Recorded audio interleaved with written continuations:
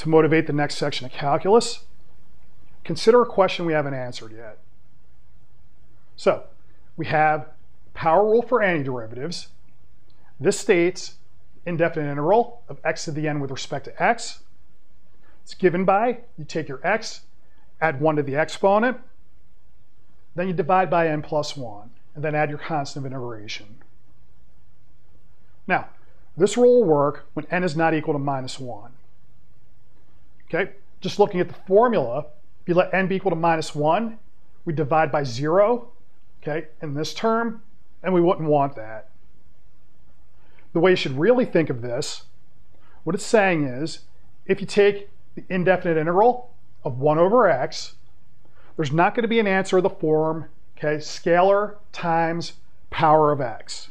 So it's going to have to be something else. Now, to find out what that something else is, we go to the second fundamental theorem of calculus. So that'll say, okay, if you have a function which is continuous on a closed interval, there's always going to be an antiderivative on that closed interval. Now here, our function is 1 over x. For the closed interval, we're going to consider closed interval over any two positive real numbers. Okay, to get your antiderivative, what do you do? You take your function, we'll switch the variable to t, so I'll have 1 over t. Then we're going to take the definite integral, as t goes from, in this case, 1 to x, of 1 over t with respect to t. So, second fundamental theorem of calculus says, if I take the derivative of this function with respect to x, we just take the integrand, and wherever I have a t, I put an x. So the derivative of this function is 1 over x. Now, the name we give this, natural logarithm. You might note, okay, you already have a perfectly good function called natural logarithm that has something to do with exponents. So the idea here is those two functions are equal, except here we're going to motivate everything using calculus. All right, now with this definition, let's see what we can get. So, first, how do we interpret natural log of x? Well, if we draw the graph of the function 1 over t, then natural log of x is just going to be the area between 1 and x, okay, below our curve and above the x-axis. So you can think of this as being an area. Now, let's get a rough idea of what our graph looks like. So if I take natural log of 1, if I put 1 into the definite integral here, we have a definite integral going from 1 to 1. That's always going to be equal to 0. Okay, another way to think of it, if I put x at 1, we're just looking at a line segment. There's no area there, so we would say the area is 0. Okay, then, second fundamental theorem of calculus says the derivative of natural log of x is equal to 1 over x. Okay, that's what I explained before. I take the derivative of this function, you just take your integrand and replace the t with an x. Now, with that, I can get the second derivative. Okay, I have x to the minus 1. Take its derivative, the minus 1 comes down.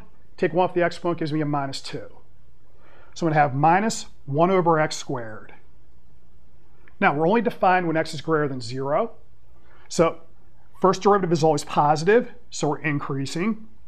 Second derivative, okay, well, if I square a number, it's always zero or positive. Here it can't be zero. So this is always positive, and then when I put the minus sign in front, it's always negative. So we're always concave down. Take these three items, put them together. We'll have a graph that looks like this. For the end behavior, we have a vertical asymptote at zero. So this will go down to minus infinity. Then this just goes off to infinity as we go off to the right. We have the graph of natural log. How do we get specific values? So if I want natural log of 2, I put 2 in for x, then I have to compute this definite integral. Now, we don't want to use the first fundamental theorem of calculus. That says, find an antiderivative, evaluate your endpoints, take the difference. Here, the antiderivative of 1 over t is going to be natural log. And that's the function I want to get information about. So that's a step in the wrong direction. Instead, I consider this as an area and I settle for an approximation. So our graph is going to be for the function 1 over t or 1 over x. We're above the interval from 1 to 2. So we chop up our interval and then we approximate with rectangles. Now, I'll go with 10,000 rectangles, all of equal length base. So we're going to have base times height and then add over all rectangles. We put our numbers in. I go to a computer to calculate. And then what comes out is going to be roughly 0.693. So that's going to approximate this area. And we could check this against the calculator. Let's try natural log of a half. So here, we set up our definite integral. If I want to interpret this as an area, I have to have the 1 half in the lower limit. So when I do the switch, I have to introduce a minus sign. Now for the area, same procedure as before. Okay, we take our interval, we chop it up, put our rectangles in, then we run it through a computer. For the area, we're also going to get roughly 0.693. So for natural log of 1 half, we're going to have minus 0.693. Okay, you'll note natural log of 1 half is going to be equal to minus natural log of 2. So we'll see that with our exponent rule. Let's look at one last special value of natural log. So, the graph of natural log satisfies the horizontal line test. So it's 1 to 1. That means there's exactly one x such that natural log of x is equal to 1. Call that x the number e. e is roughly 2.718. It's going to be an irrational number, so it's going to go on forever. There's not going to be a repeating pattern. Now, everything we just said, okay, we have natural log of v is equal to 1. And by definition, natural log of v is equal to this definite integral. So we could check this. I'll use 2.718 in for e.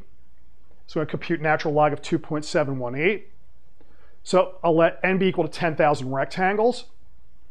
We'll work out the Riemann sum on the computer. And when you do that, you see that the number that comes out is very close to 1. So this is believable. Now, this is the first time we come across E in calculus.